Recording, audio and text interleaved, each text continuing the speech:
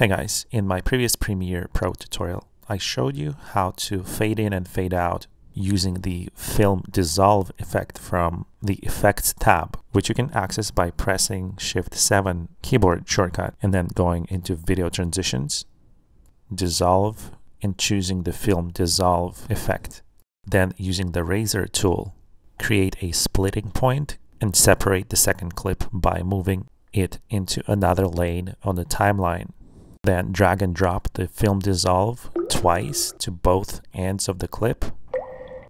Here's another example of me applying fade in and out on this video that I'm editing right now. You can also change the length of your fade in and fade out effects by dragging this effects bar. And when I play it, it just creates a faster fade in and out effect. Now I'm going to go back to my previous video so the film dissolve is not the only way to create fade to black effect. You can also do this by animating opacity and you can do that by pressing shift 5 so the effect controls panel will appear. Now make sure to place your playhead on the timeline where you want your fading effect to start.